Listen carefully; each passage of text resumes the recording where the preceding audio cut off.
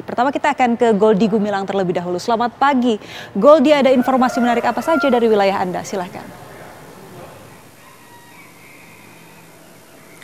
Selamat pagi Ebony dan juga pemirsa. Hari ini di kabar pilihan daerah wilayah Biru Surabaya, kami akan memberikan dua informasi terbaru dan tentu menarik dari wilayah kami. Kita awali dari informasi pertama. Sebuah mobil minibus yang dikendarai seorang dosen dari Institut Teknologi 10 November Surabaya mengalami kecelakaan hingga terbalik di Jalan Kertajaya Indah Regensi. Sebelum terbalik, mobil sempat menabrak pagar dan pohon di tepi jalan. Evakuasi berlangsung dramatis karena posisi korban terjepit kursi dan tangannya patah. Beginilah proses evakuasi korban kecelakaan mobil di Jalan Kertajaya Indah, Surabaya yang berlangsung dramatis Rabu sore. Mobil yang dikendarai Ariza Bagjabir bersama istri bernama Fahima, dosen ITS ini, mengalami kecelakaan tunggal menabrak pagar dan pohon hingga terbalik. Usai mengevakuasi si pengemudi, petugas damkar dan tenaga kesehatan PMI sempat mengalami kesulitan saat hendak mengevakuasi korban karena kaki kanan dan tangan kiri Fahma terjepit kursi mobil. Evakuasi akhirnya berhasil dilakukan setelah petugas berupaya hampir satu jam melepas kaki yang terjepit dan membongkar pintu samping mobil. Kecelakaan mobil ini diduga karena pengemudi mengantuk hingga tidak bisa mengendalikan kemudi saat melintas jalan dan yang tidak rata, sehingga menabrak pagar dan pohon hingga terbalik. Usai berhasil dievakuasi, kedua korban selanjutnya dibawa ke IGD Rumah Sakit Umum Daerah Sutomo, Surabaya untuk mendapatkan penanganan medis yang intensif. Kita ke informasi selanjutnya Ebony dan pemirsa. Musim kemarau yang panjang membuat sejumlah sumber air di Jombang, Jawa Timur mengering. Kondisi tersebut membuat petani sulit mendapatkan air untuk mengairi sawah.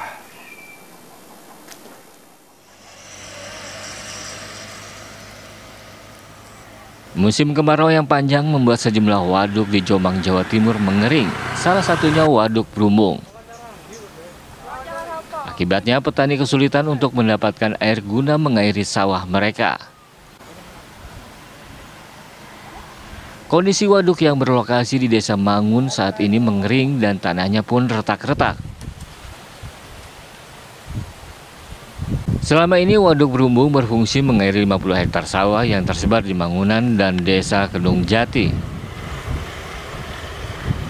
Petani Desa Mangunan dan Desa Kedung Jati berharap pemerintah Kabupaten Jombang mencari solusi agar waduk tetap bisa menyimpan air saat musim kemarau. Pengairan sawah sekitar 40 hektar lebih ya. Terus ketika kemarau Termasuk kawasan sekarang? Desa Mangunan sampai desa Kedung Jati. Terus ketika kemarau seperti sekarang bagaimana kondisinya? Uh, harapan pemerintah desa Mangunan tidak cuma musim hujan bisa dimanfaatkan. Kalau bisa pemerintah memberi bantuan bagaimana caranya waduk atau umbung ini di musim kemarau ini nggak habis airnya mas. Uh, contohnya bisa dibikin bor sumur di sini yang akhirnya bisa digunakan waktu kemarau. Dari Jombang, Jawa Timur, Umar Sanusi, Tihuan mengabarkan.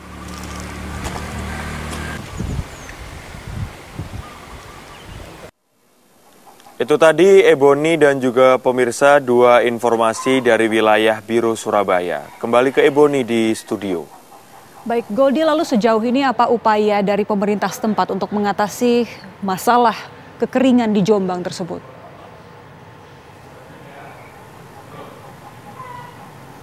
Baik Ebony, saat ini uh, dari pihak warga ataupun petani memang mengeluhkan karena memang cuaca kemarau panjang hingga mengakibatkan waduk di lokasi di Kabupaten Jombang ini mengering dan, dan kami juga masih akan mengkonfirmasi apakah langkah-langkah yang akan dilakukan dari pihak pemerintah utamanya dalam hal ini adalah pemerintah Kabupaten Jombang untuk menangani krisis air yang terjadi di wilayahnya. Dan dari pihak petani karena memang waduk ini mengairi kurang lebih 50 hektar sawah yang tersebar di Mangunan dan juga desa Kedung Jati. Ada salah satu petani yang menyarankan untuk membuat sumur-sumur agar uh, dapat membuat tampungan air supaya jika memang kekeringan ini melanda lagi, ini dapat teratasi dengan diairi air dari sumur-sumur tersebut. Namun kami akan mengkonfirmasi apakah langkah terdepan ataupun terdekat dan juga langkah panjang yang akan dilakukan pemerintah Kabupaten Jombang. Ebony.